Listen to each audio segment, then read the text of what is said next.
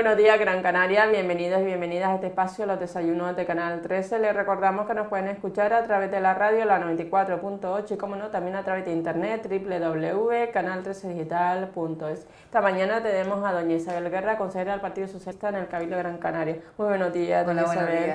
Y bienvenida. Como mm, siempre, bien hallada. Bien hallada.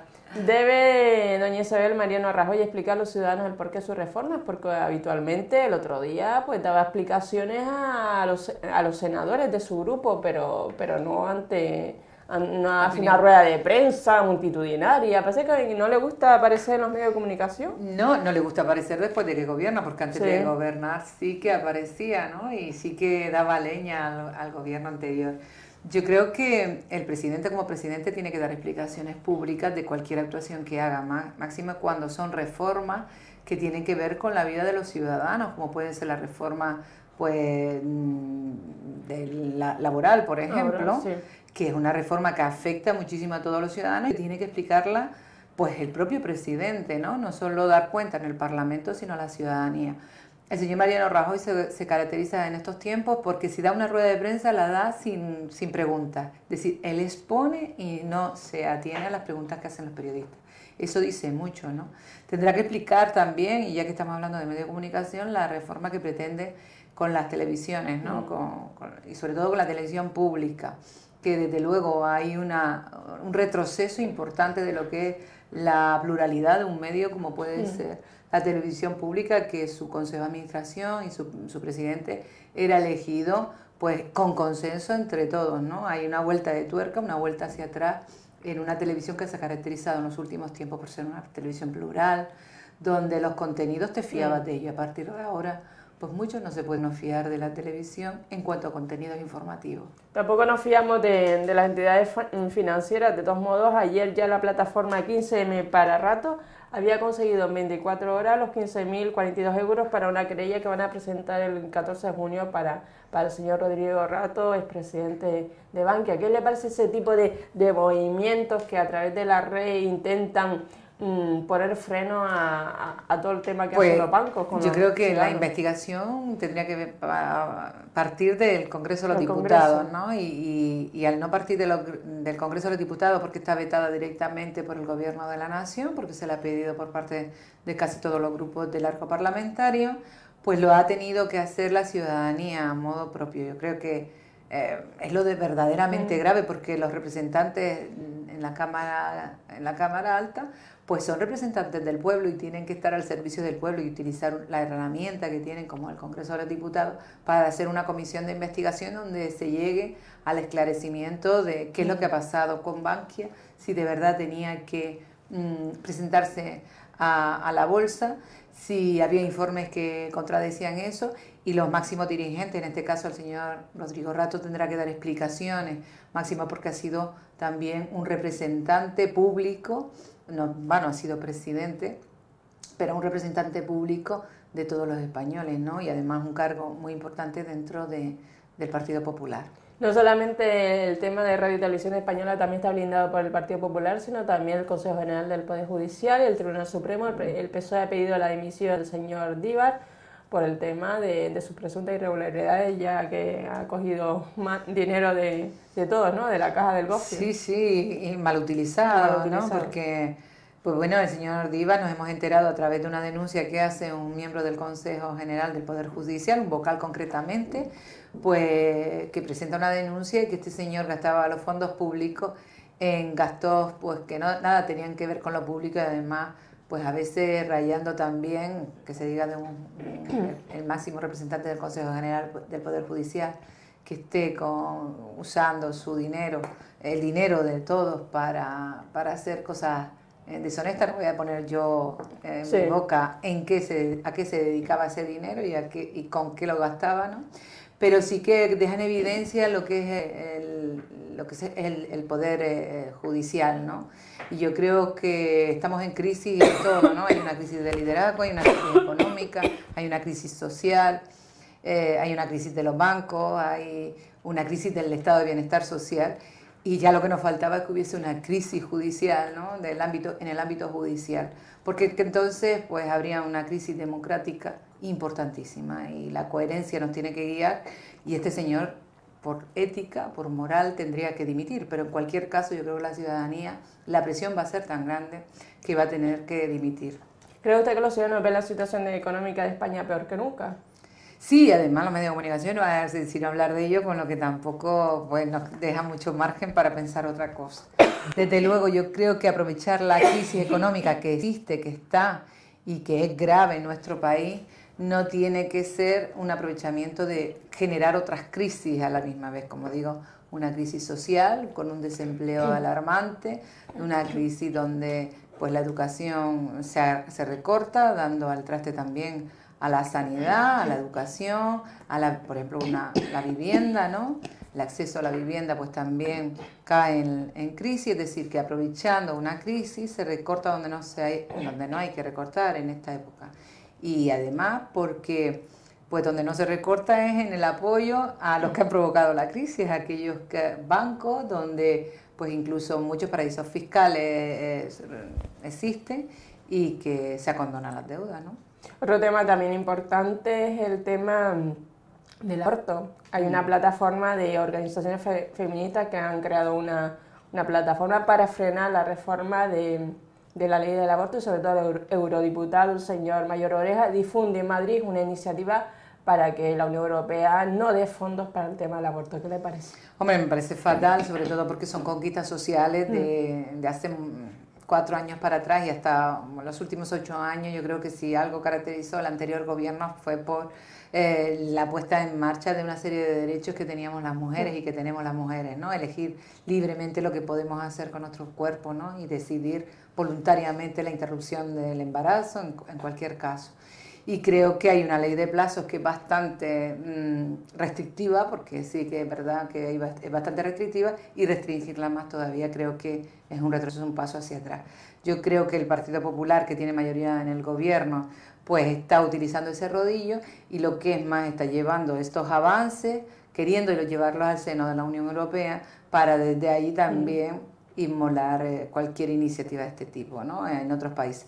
Afortunadamente hay una ola de progresismo en Europa, donde muy poco le va a quedar a la derecha española para refugiarse. De hecho, ya se está pegando al señor Mariano Rajoy a, a, Holanda, un poco para que frenar también toda la, política de austeridad, de, llegar hasta el abismo a muchísimos países, eh, que es Alemania, y están haciendo un frente común entre pues Francia, eh, España, Holanda y algunos países que se van sumando para hacer un frente común contra Alemania, porque es la que está dictaminando desde Alemania todo lo que se debe hacer desde una óptica bastante conservadora. ¿no?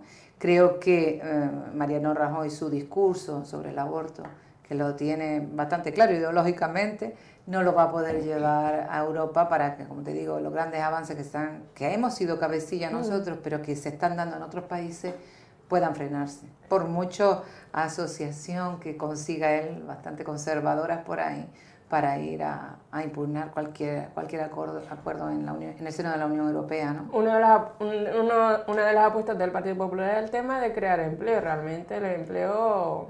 Mira, con Mariano Rajoy, el desempleo. Con Mariano Rajoy el desempleo ha subido y los últimos datos que hablan de que pues ha bajado en 30.000 personas es ridículo. De hecho, es en el histórico en el histórico eh, cifras que se arrojan de bajada de paro en, estos cuatro años, es el más bajo de cuatro años para atrás. Eh, ¿Esto qué quiere decir? Que 30.000 personas en el desempleo las, el mes que viene, si nadie lo remedia, pues va a haber el doble más seguramente en el desempleo. Porque es, es estacional, el desempleo en este caso es muy, bastante estacional.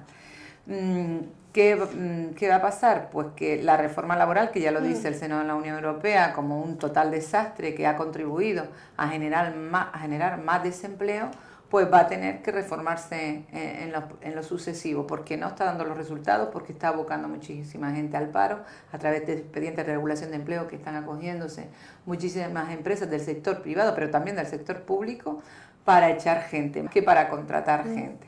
Hay una manifestación, los sindicatos están ahí, no han parado. Hay una manifestación el próximo domingo vamos a salir del obelisco hacia la delegación del gobierno una vez más reclamando que eh, se retroceda con esta reforma laboral que no hace más que ahondar en las cifras de desempleo.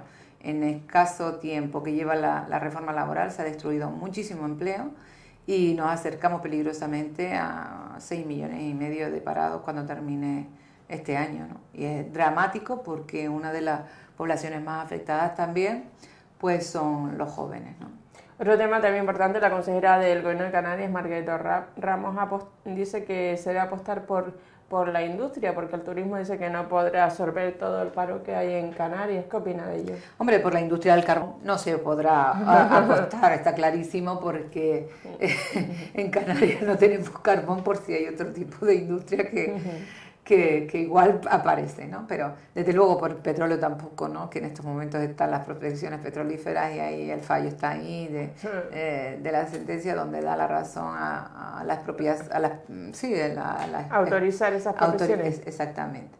Entonces, pues la industria que nos queda es la industria de energética, que tiene que ver con desarrollo sostenible, y la, la industria, que, que, que hay muchísimos estudios que así lo revelan, la industria del cuidado de las personas. ¿no? Y en ese sentido, pues si desarrollamos, y el gobierno de Canarias intenta desarrollar la ley de la dependencia, más de lo que en estos momentos se está dando, porque no cabe duda que hay unos déficits importantísimos en lo que es la ley de la dependencia, ya no para los moderados, que es lo que paró en estos momentos el señor Rajoy, sino para los severos, que es insuficiente las plazas que hay, pues se pondría en marcha una serie de servicios nuevos y una serie de empleos nuevos que tendría que apostar firmemente el gobierno de Canarias por esa nueva industria que se llama la, industria de los empleos blancos, pero que necesita el apoyo incondicional de este gobierno y que lamentablemente con los dineros que vinieron de la ley de la dependencia anterior,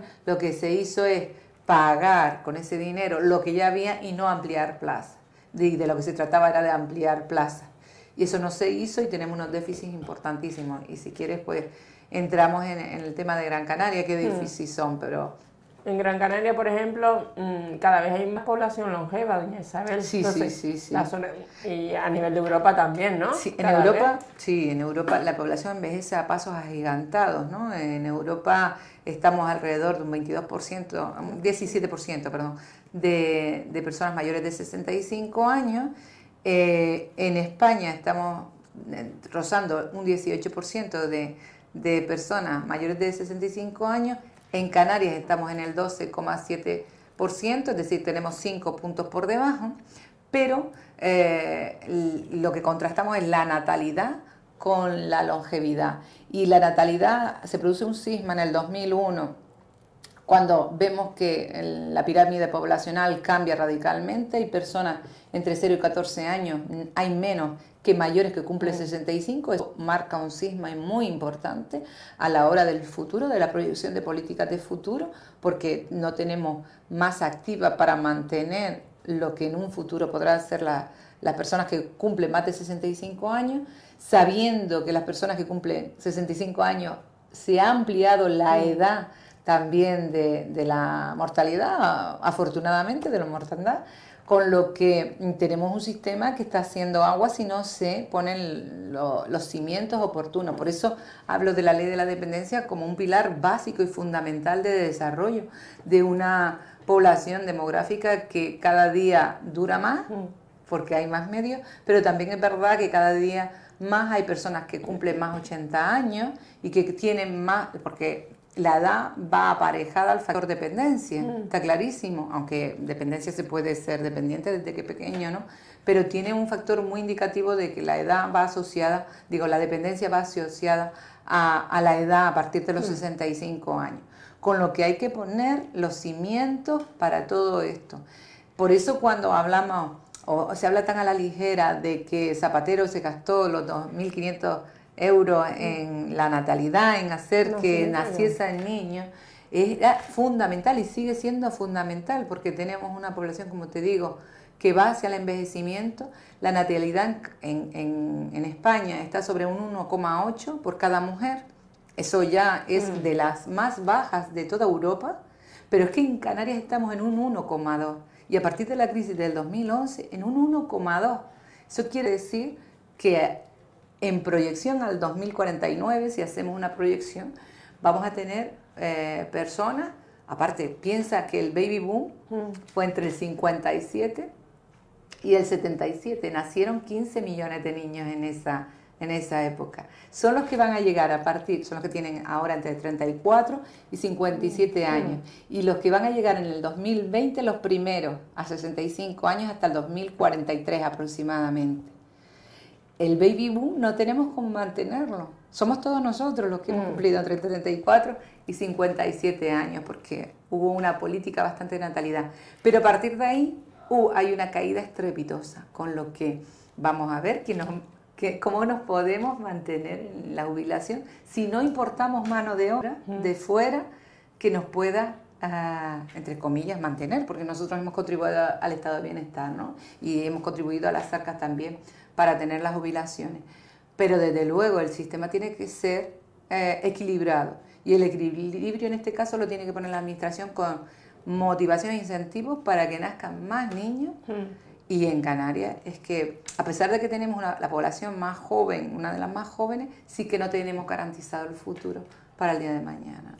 Eh, porque en torno al tema ancianos se pueden generar un montón de, empleos. Muchísimos empleos. Empleos es el futuro. Empleos de todo, desde el punto de vista de, no sé, de organizar viajes, el ocio, el tiempo libre. tiempo de hecho, el cabildo, yo digo que para qué te gastas ese dinero si después no lo tienes en cuenta. Se ha gastado unos 18.000 euros en editar un libro que tiene que ver con el ocio de las personas mayores. Nos hemos enterado en estos días. 18.000 euros. 18.000 euros en editar un libro. Entonces, eh, para ver... ¿Cuál es la finalidad de ese libro? Pues en principio debe ser conocer a qué se dedica la persona mayor en su tiempo libre, ¿no? A qué dedica su tiempo de ocio, cuáles son las actividades, qué tal. Es paradójico porque eh, el Cabildo de Gran Canaria, a través del Instituto de Deportes, que, por ejemplo, estamos en el año mundial, de la, de, la, vejez activa, ¿no? Eh, la solidaridad intergeneracional que le dicen, ¿no? Es el año eh, internacional de eso, ¿no? Y es paradójico que en el Instituto de Deportes no aparezca ni una sola actividad para mayores, mm. porque, bueno, el señor Bravo, el señor eh, Luca Bravo, el niño Bravo, le vamos a distinguir como eso, ¿no?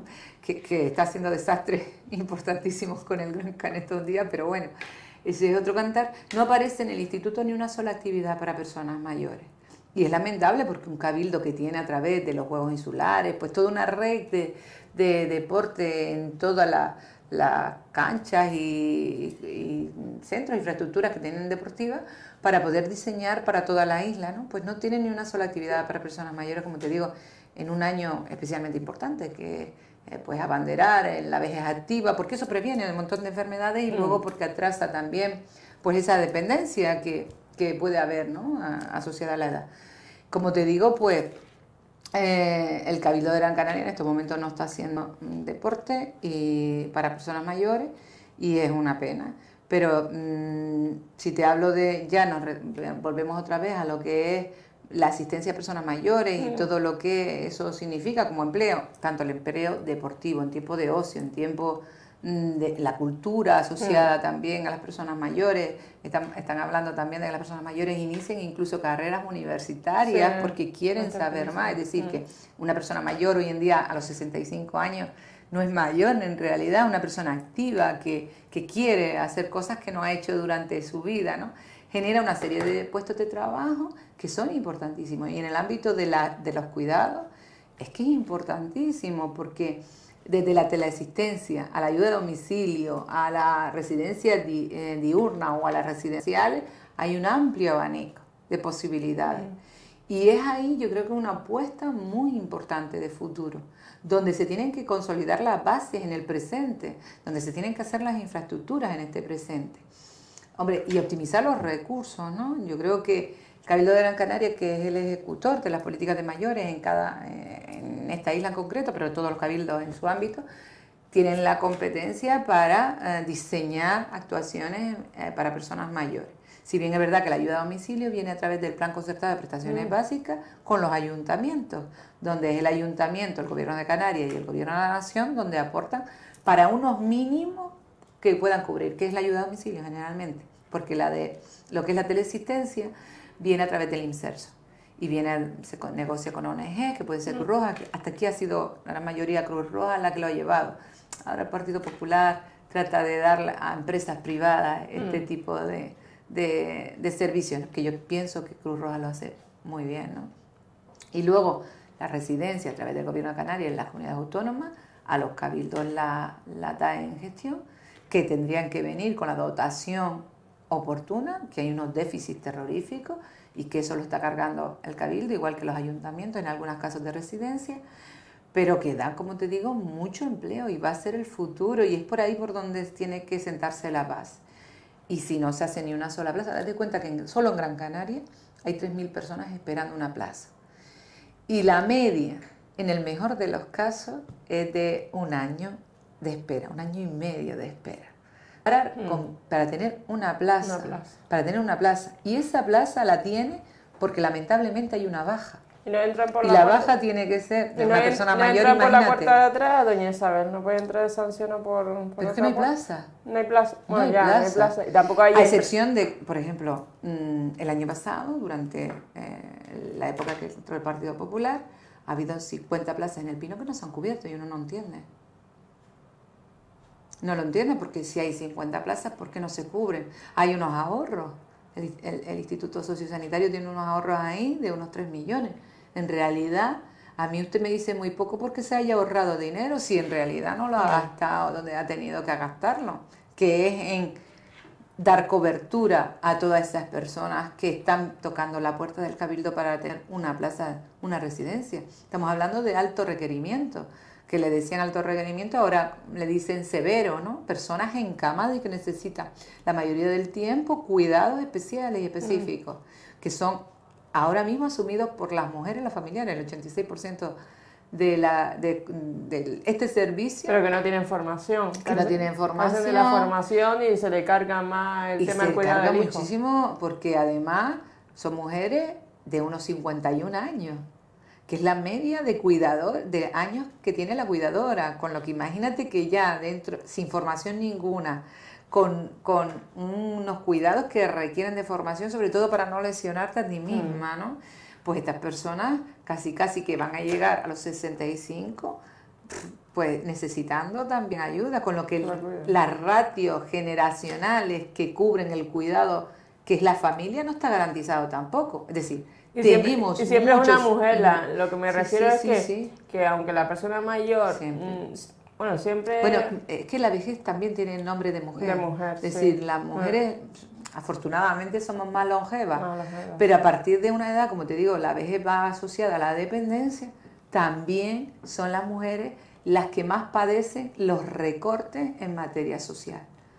Y te digo que la media de vida de una mujer son 84 años con 7 meses y la media de un hombre pues está en unos 78 años. La media de vida. Hay, cada día hay más mujeres que superan los 100 años, ¿no? la, década. Porque afortunadamente tenemos una sociedad de bienestar que, ha hecho que eh, sea más longeva la vida, ¿no?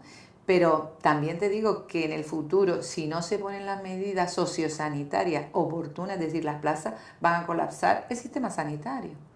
Porque la gerontología, que está en el mm. ámbito sanitario, una vez que termina y hay una enfermedad crónica o dependiente, pasa a los centros sociosanitarios que cubren la mm. parte sanitaria y la parte social. Si esa parte no está, muchísimos familiares van a optar y van a decirle en, el hospital que los, los, mayores no se lo saquen de allí porque no pueden sencillamente atenderlo, porque los cuidados son muy especiales y van a colapsar el sistema sanitario. Con lo que también hay, por, por lógica, tendrías que liberar plazas, porque si no te colapsa el otro sistema. Entonces, no sé, hay una, hay una pequeñez de mira de, de algunos gobernantes en este tema que es especialmente importante de no poner... ¿Porque esos gobernantes no tienen mayores? Pues no lo sé, o porque no se han estudiado los datos demográficos mm. que existen, que son alarmantes. Estamos hablando de muy poco tiempo, estamos en el 2012, cuando antes, mm. hace poquito cuando lleguemos al 2012 ya estamos en el 2012. Pero ahora ya estamos hablando de 2020, el 2020 viene a la vuelta a la esquina, ¿sabes? Y todo eso tenemos que regularlo ya para tener las bases hechas. Por lo tanto, por eso que te decía, cuando hablamos de déficit, ¿Déficit dónde? Económico. Porque estamos atajando el déficit económico, pero no estamos atajando el déficit en la educación que tenemos, que es importantísimo. No estamos atajando el déficit sanitario que tenemos, no. No estamos atacando el déficit eh, en los servicios sociales, no. Estamos dedicándonos solo a un déficit, es decir, a una sola dimensión de la crisis. A una sola dimensión, cuando hay muchas más dimensiones, como te digo, entre ellas la democrática. Hay una crisis de valores democráticos en estos momentos, donde la ideología casi que se pierde, porque son los mercados los dictaminan y a lo mejor los gobiernos de derecha casi dicen lo mismo que de los de izquierda, y los de izquierda casi dicen lo mismo de derecha. ¿Y eso qué quiere decir? Que hay una desconfianza de la ciudadanía en su gobernante. Y en estos momentos hay una crisis ideológica. Y los que somos de izquierda tenemos que posicionar nuestro discurso.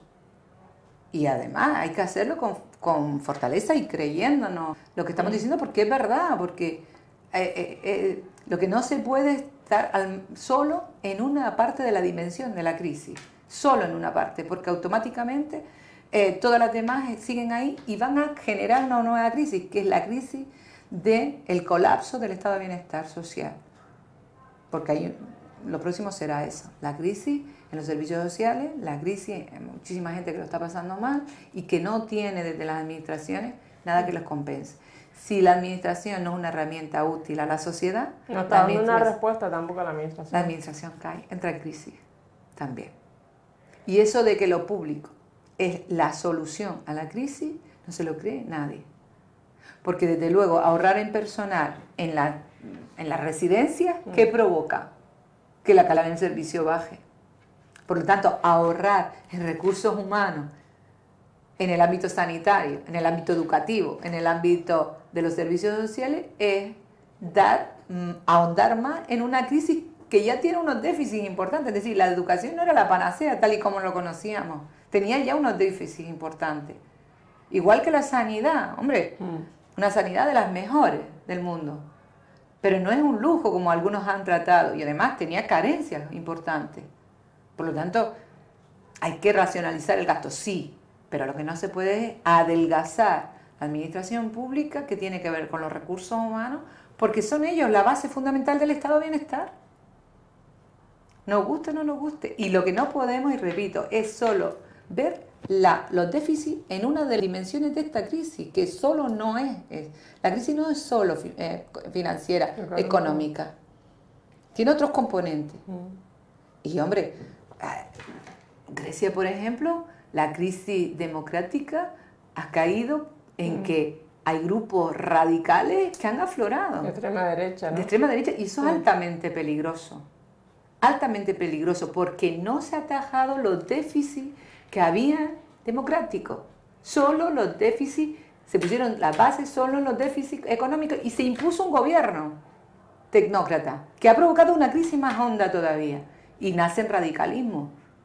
Y eso muestra tiene el mundo para, para, para ponerla como nos hemos autodestruido los seres humanos por falta de tener, por, por apoyar a grupos radicalistas la ciudadanía, porque no encuentra coherencia y desconfía de sus políticos.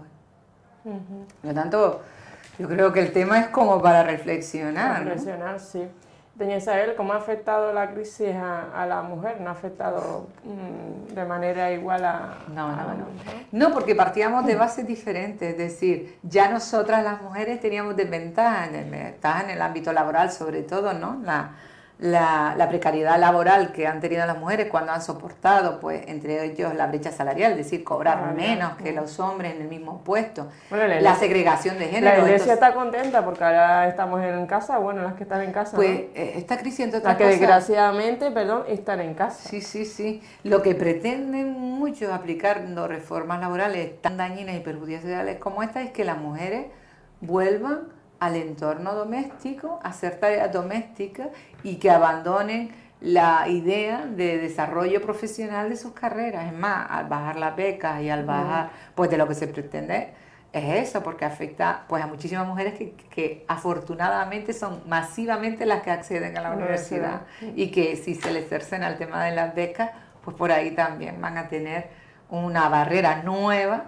que les va a impedir eh, acceder. Pero la segregación del mercado laboral también es importante como en estos momentos, antes de, ya había puestos de trabajo para mujeres, puestos de trabajo para hombres. Los de mujeres son menos valorados en la sociedad, llámese limpieza, tareas de, domésticas, son cuidadoras, son menos valorados por parte de la sociedad en su conjunto y son menos pagados.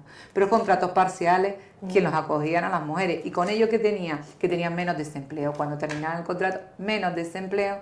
Y además no les servía prácticamente para eh, automantenerse un tiempo, sino que seguía tenían que buscar otro contrato parcial en el ámbito, como te digo, laboral y la reforma ahonda todavía más porque, bueno, se han suprimido los, permisos paternales y eso, la conciliación de la vida familiar y laboral se la carga. La flexibilidad horaria, aquel periodo que te daban de un llegar un poco más tarde para amamantar a tu niño, aunque luego lo recuperaras por, por la tarde a última hora, eso se suspende todo sin ningún criterio, porque eso tampoco va a arreglar nada. Es filosofía, ideología política la que la que plantea. El tema de que pues las mujeres ahora en una empresa las pueden, mm, primero, ponerles más horas para que trabajen. Con lo que si trabajas más horas y tenías a tu niño que lo tiene la abuela, pues tendrás que dejárselo dos horas más a la abuela porque de buenas a primera tu jefe te dice que tienes que quedarte dos, dos, horas más y como no hay límite en las horas extraordinarias, como antes que había el límite de 80 horas, pues te aguanta. Pero lo que realmente hace daño a las mujeres es el tema de la movilidad territorial. Es decir, que si eres trabajadora de dependiente en el corte inglés, por ejemplo, de Las Palmas de Gran Canaria y hablan uno en el sur, pues mañana, en 15 días, te tienes que ir para el sur si el jefe así lo considera, con lo que tu vida, tu gasto eh, de movilidad, de transporte, pues corren todos a cargo tuyo, porque la empresa es la empresa. O imagínate que estás en la central de Las Palmas, pero te dicen que te tienes que ir a Madrid. Sobre todo porque eso puede ser un expediente de regulación soterrado, es decir, mm. si no te pueden echar, lo que hacen es moverte donde tú no puedas, donde tú no puedas compensar tu vida familiar, laboral y conciliar, porque lamentablemente, no lamentablemente, porque también en el cuidado también hay cierto, pero no, no debe de tocar a las mujeres solo, pero conciliar se vuelve con lo que tendrás que renunciar a tu puesto de trabajo, porque en realidad pondrás en una balanza si realmente te vale la pena moverte de mm. tu sitio a otro, si te compensa el salario, que generalmente no va a compensar, para dejar atrás a tus hijos o el cuidado de tus mayores, si realmente. Con lo que hay una especie de renuncia expresa. Lo que esta crisis ha provocado es que muchísimas mujeres pues se hayan dado empresarias, se hayan ido a emprender en solitario, coger su dinero del paro, todos juntos, y emprender. En cierta manera, las mujeres están comprando su libertad y poder conciliar la vida familiar y laboral, porque de la otra manera ya no se puede. El mercado laboral ya no está apto para mujeres.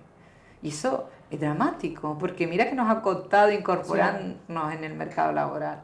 Pues en estos momentos, con la reforma laboral, ya el mercado no es para mujeres. No puedes porque sencillamente la corresponsabilidad no se ha llegado a su límite. Las campañas que habían de corresponsabilidad, de que las mujeres el mismo tiempo que los hombres cuidaran de las personas que, que, tienen a su cargo, un poco para compensar las tareas domésticas de casa, la triple jornada laboral, pues si suma empleo en precario, empleos parciales, eh, movilidad territorial, no poder conciliar vida familiar, porque si acabas de tener un niño, pues el permiso paternal se suprime hasta a partir del 2013 se suprime el permiso paternal, tú no puedes hacer eh, horario flexible para poder amamantar a tu hijo y llegar aunque sea un poquito más tarde o, o que te lleven a tu hijo, pues ¿qué quiere decir eso? Que las mujeres están abocándolas otra vez al ámbito doméstico y no es justo. Y luego, la crisis afecta a las mujeres porque casi todos los servicios sociales son proyectados para mujeres. Entiende que la ayuda a domicilio son las mm. personas mayores, las principales beneficiarias de ayuda a domicilio residencia, tal son mujeres, por lo que decíamos antes, porque afortunadamente no tendremos que pedir mm. disculpas por ello, ¿no? Eh, pues somos más longevas, pero también la vejez va asociada a la dependencia. Pero las políticas educativas, casi todas, también mm. son mujeres las que las ejercen, porque ahí hay un mercado segregado también de mujeres maestras que ahora mismo se están adelgazando, igual que trabajadoras sociales que están, porque ahí hay toda una industria de trabajo asociado a, los cuidados. Por eso te digo que si algo tenemos, si alguna industria en estos momentos tenemos que apoyar e invertir, es en esa industria, en la industria de los cuidados, porque tiene potencial. Hay un potencial emergente de puestos de trabajo que sé y estoy convencida que lo saben, pero no saben cómo ponerlo en marcha. Hace tiempo que lo decía Paquita, ¿no? Que la Paquita Luengo, además una creyente firme en la ley de la dependencia, que los retornos iban a ser mucho más importantes que lo que nosotros podíamos invertir en la ley de la dependencia, porque los retornos iban a, sobre todo a dar empleo y empleo femenino, por, por ese mercado segregado de cuidados, ¿no? Pero bueno, aprovechemos la experiencia que tengan las mujeres para esos cuidados, para también eh, darles puestos de trabajo. Y en este sentido, pues creo que van por ahí, las, como te digo, las principales beneficiarias de lo social, de la educación, de, son mujeres. Primero porque son las que lo ejercen, son puestos de trabajo. La administración pública está llena de mujeres. Si estamos adelgazando a las administraciones públicas, estamos echando a muchísimas mujeres a la calle. Date cuenta que dos millones de mujeres y 700 mil hombres son los que trabajan en, en, lo que son educación, sanidad, servicios, servicios sociales y servicios públicos. Si vamos a adelgazar, mm. ¿quiénes son las que salen perdiendo? Las mujeres, son dos millones y medio. Son mujeres las que están trabajando. Y son a ellas a las que van a sido... Porque es que entre otras cosas hay encuestas que dicen que a la hora de valorar quién se va a la calle, si un hombre y una mujer, la sociedad todavía ve bien que se vaya a la calle una mujer antes que un hombre, porque se interpreta que el hombre es el que es el mantenedor del hogar. Todavía hay ese estereotipo aplicado y muchísimos ayuntamientos que tienen una mujer y tienen un hombre, pues que a la hora de echar a alguien ven con mejores ojos echar a la mujer que echar a los hombres.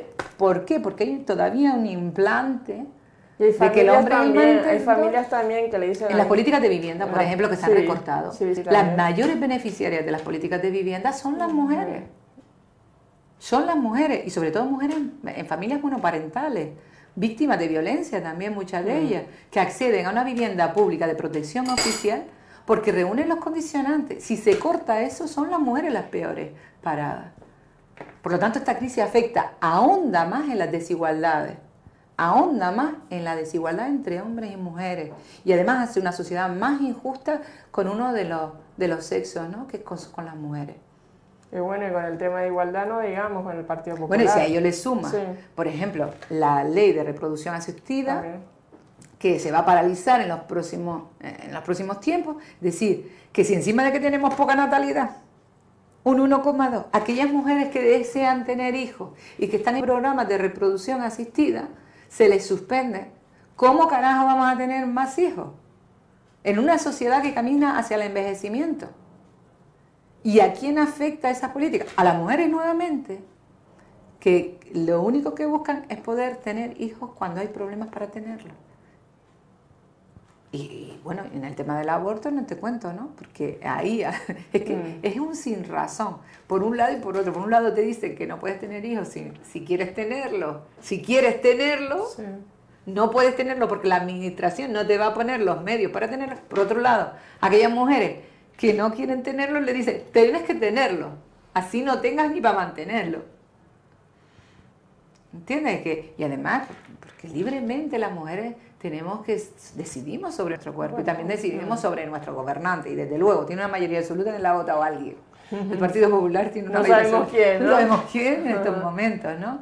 Pero desde luego, la política a quienes están afectando en materia este de igualdad, doña Isabel, también, o sea... Retroceso. Un retroceso que, que todo lo que ha hecho el Partido Socialista con, con el presidente José Luis Rodríguez Zapatero, pues realmente es difícil, ¿no? Después retomar todo lo que se ha hecho. Hombre, parecía imposible que cuando tú pones la raíz, la entierras bien y haces que, pues cortar de cuajo, arrancar la mata, es muy, es muy difícil sin que deje huella y que pueda florecer otra vez.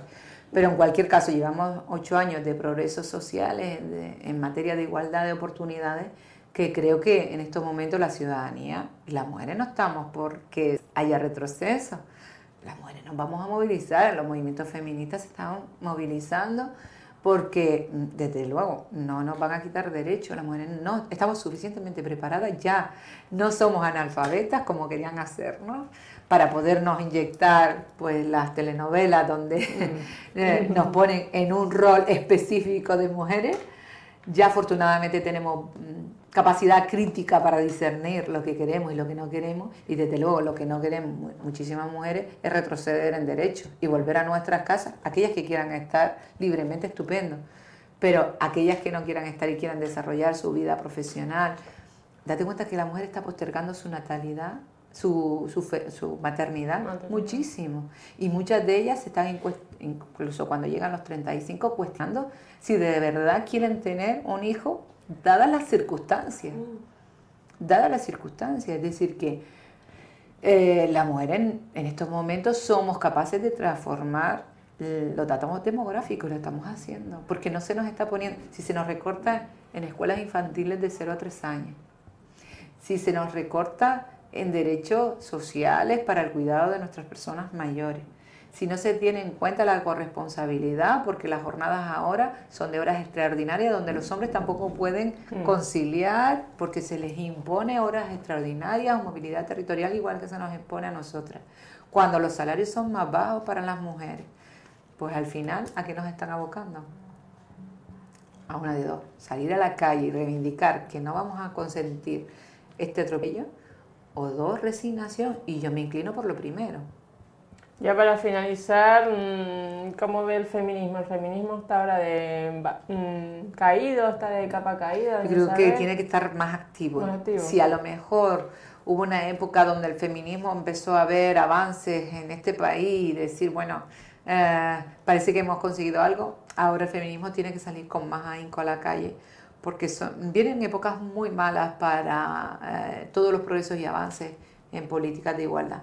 La ley de igualdad se cuestiona, se cuestiona la ley del aborto, se cuestiona la ley de dependencia, se cuestiona el tema de eh, la sanidad. A propósito, hay que decir que los estudiantes siguen mm. encerrados en, en, magisterio y que están ahí reivindicando que no se suban las tasas eh, las tasas académicas para, para, este año, porque muchísimos jóvenes se van a quedar fuera. Se van a quedar fuera y... Porque es un real decreto mm. Que impone a las comunidades autónomas, que yo no sé hasta qué punto una imposición de este tipo a las comunidades autónomas de subida de tasa. Y ayer venía en prensa que va a ser de las más caras de Europa. Efectivamente. Entonces, el, el gobierno de Mariano Rajoy se ha propuesto eliminar universidades, ha dicho que 70 universidades para este país son muchas, y que, bueno, de esas 70 hay muchas privadas, pero mm. las privadas son privadas, nadie las va a cortar porque es iniciativa privada, por lo tanto nos tememos que va por la pública, nos tememos, ¿no?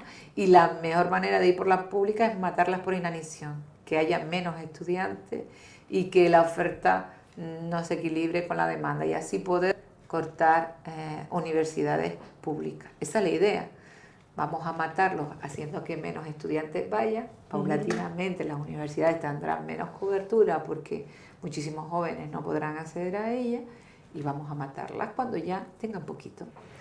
Mm, ya para ir finalizando, ¿qué le parece el tema de moda cálida? Que, mm, que, esta semana, bueno, la próxima semana, el día 22 y 23, el, ¿cómo lo ve el tema de moda cálida? Mira, moda cálida es una de esas industrias que pudiera, si hay una verdadera apuesta y no se basa solo en un evento mm. una vez al año donde nos ponemos los fastos, sino que tiene que ver con, con un apoyo firme a, la industria textil de, de, nuestra, de nuestra isla, que es importante, importante porque cubre también muchos diseñadores de ropa y además porque mm, hay ahí una de creativos importantes que pueden ser generadores de empleo.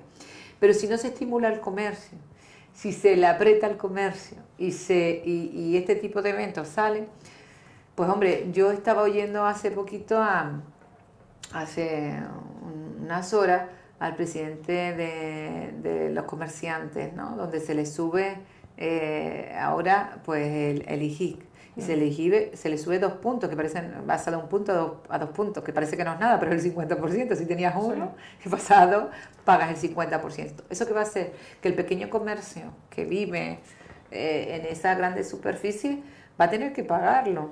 Y las ventas están muy mal. ¿Y cómo, cómo carajo va a repercutir eso luego en, nosotros usuarios que vamos a comprar y se va a encarecer todo, entre ellos la cesta de la compra, que también es verdad que se va a encarecer porque alguien lo pagará.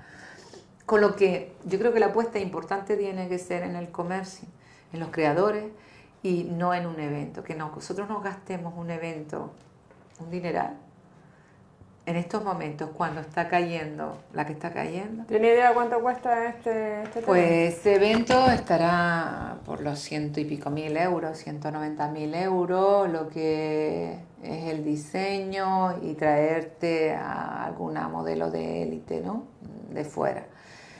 Aparte de todos los gastos inherentes también a lo que alrededor de, de ellos de ello hay con lo que yo no lo sé porque es difusión de, nuestro, de, nuestro, de nuestros creativos, mm. francamente, es difusión de nuestros creativos, pero igual no lo sé, para un día o para dos a lo mejor tendría que ser algo más, algo más y, estudiar la manera de que también pues el comercio, pequeño comercio también saliera a flote, que es lo realmente lo que nos está dando empleo ¿no? en estos momentos. Y que en estos momentos está cayendo en picado porque el consumo está cayendo en picado una noticia que, que oí ayer de anecdótica, ¿no? Que, que, no tiene nada que ver, pero antes de que termine quiero decirla, ¿no? que ha subido en nuestro país, además que se puede montar un negocio en ello, ¿no? Eh, la venta de cajas fuertes. Además, muchísimo, muchísimo, de toda la gama y de todos los precios, ¿no? con lo que puede ser. Quería decirlo antes de irme, ¿no? porque me pareció anecdótico. No anecdótico, Curioso. muy curioso, que ha subido, pues creo que las ventas en las tiendas que se dedican a la venta de caja fuerte, de caja fuerte ha subido casi un 300% su venta, desde una caja que cuesta, o que puede costar 300 euros, hasta cajas fuertes que pueden costar de todas maneras, 12.000 euros. Ya para finalizar, bueno, ya con el tema de, de humor también, ¿cree usted que, que el señor Rato pasará del banco como entidad financiera al banquillo o no?